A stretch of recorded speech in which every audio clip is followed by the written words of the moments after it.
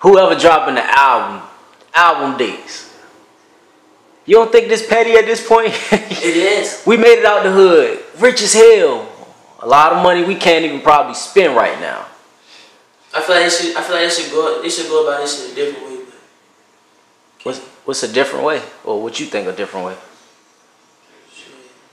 Fight No, behind the scenes or they do what the fuck they wanted to do. Shit, if you want to drop your goddamn album on this day, you want to drop it on the same day as me, go ahead. You feel me? I'm not ready to trip on this shit, but goddamn, I made too much money in this shit now. It is what it is. They will fuck with me, they will fuck with you. It ain't gonna stop my money. So now, how did you view, um, you know, young boy making sure he dropped uh, his project "Richest Opp" on the alleged date young um, um, Durk was supposed to drop? Was that petty? But I don't, I don't even know because one young boy supposed to drop this shit before the he did. He dropped. So he dropped two projects within the span of two weeks. I ain't know that. I ain't know that. I still haven't listened to the jump when he was on the boat. I ain't listened to the whole album yet. Right. Now, for the people that may not look at it, you know, man, Durk is on the album, you know, rollout. So this, it was always a song coming out. A lot of lead songs, you know, or albums. They lead with singles first, get a buzz, and, and then put the music out. So it kind of was always promo. So you think Young Boy got faked into a, a um, album promo? Was you talking about like with the Lil Durk situation? Yeah. Uh, to keep it.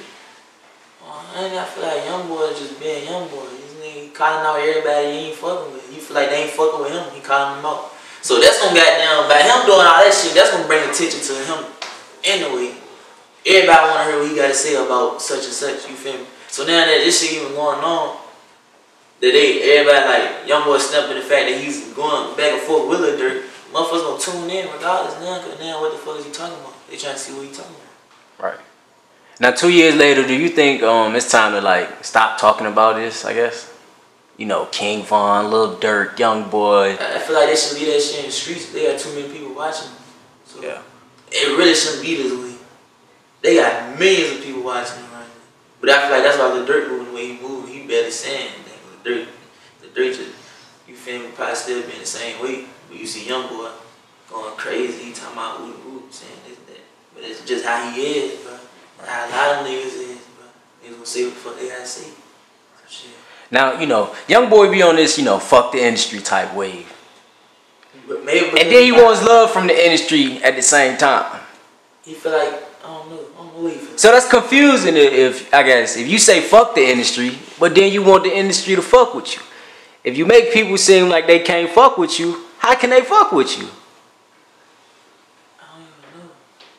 I think he brought that shit upon himself. Just by him being the person he is. Just got down. Shit. So he see something he don't like he just want instant snap. Right. That's how I am. But I just like, I, don't, I ain't gonna mention it on the net though. Right. Ain't mention that on the net. Cause you never know like. Never, never know who I'm running to and I might got yeah. So I just keep that shit, cause you'll never know. Right.